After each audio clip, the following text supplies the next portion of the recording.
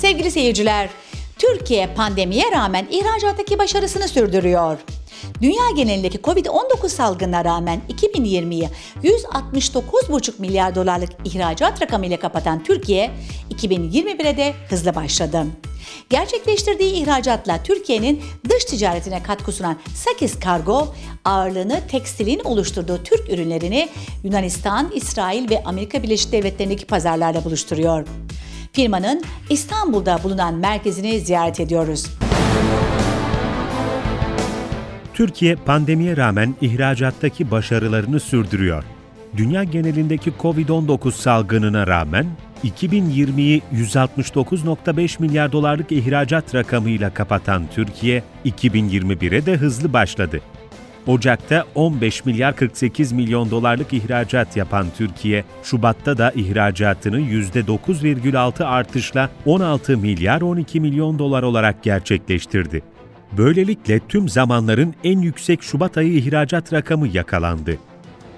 Gerçekleştirdiği ihracatla Türkiye'nin dış ticaretine katkı sunan Sakis Kargo, ağırlığını tekstilin oluşturduğu Türk ürünlerini Yunanistan, İsrail ve Amerika Birleşik Devletleri'ndeki pazarlarla buluşturuyor.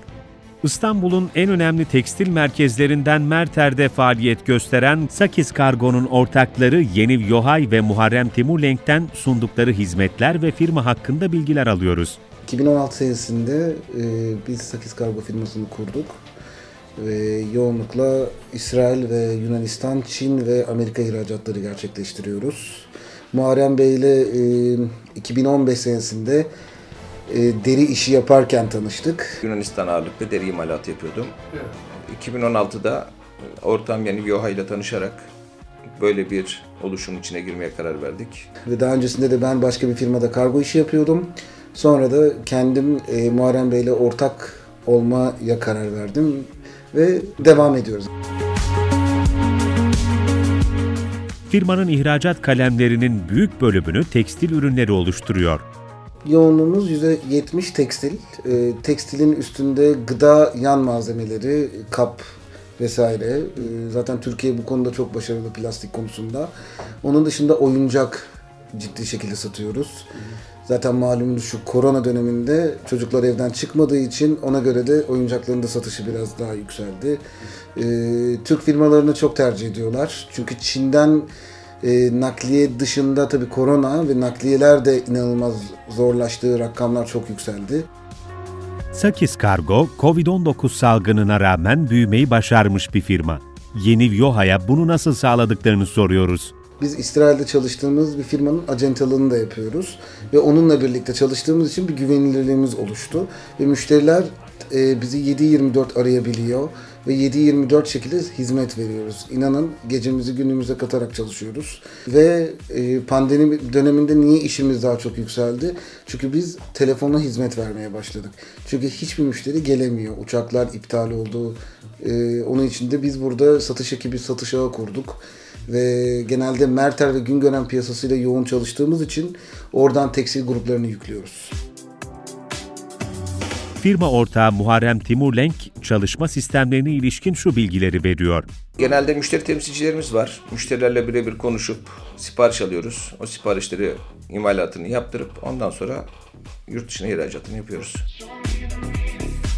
Bu sistem sayesinde firma dünya genelinde Covid-19 salgını nedeniyle yaşanan ekonomik krizi fırsata çevirmeyi başarmış. Piyasadaki kargo firmalarını biliyorum. Onlar genelde müşteri bazlı çalışıyor. Müşteriler buradan gelip telefonla ya da direkt mağazalarla çalıştıkları iletişimlerle mal alıyor. Biz öyle yapmıyoruz. Biz şu anda müşteriye birebir hizmet veriyoruz. Birebir hizmet verdiğimiz için de açıkçası krizi de fırsata çevirdiğimizi düşünüyorum. Ee, onun dışında toplu siparişler alıyoruz. İşte mesela büyük market firmaları, e, mağazacılık zincirleriyle çalışıyoruz yoğun şekilde. Onlara iyi hizmet verdiğimiz için miktar daha da arttı. Bu arada Çin olmadı. Çin olmadığı için de e, daha, çok daha çok talep oldu Türkiye'ye. Firma ihracatının büyük bölümünü İsrail'e yapıyor. Yoğunlukla biz İsrail limanıyla çalışıyoruz. Ajdot ve Hayfa limanıyla. Bizim aylık ortalama 40 konteyner gönderimimiz var ihracat olarak.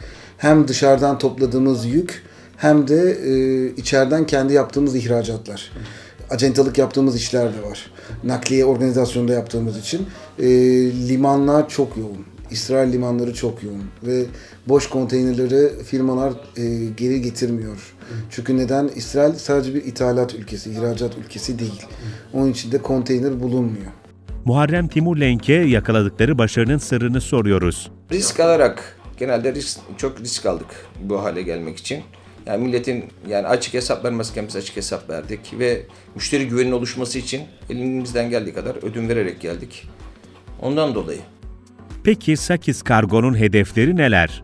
İşte firma ortaklarının bu sorumuza yanıtı.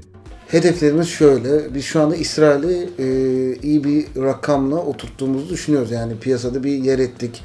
Bunu Yunanistan'a da eklemek istiyoruz ve Amerika'ya eklemek istiyoruz. Biz Amerika'ya da yıllık ortalama aşağı yukarı 700-800 bin dolar ihracat yapmaya başladık. Bu tabii ki de bir başlangıç için iyi bir adım.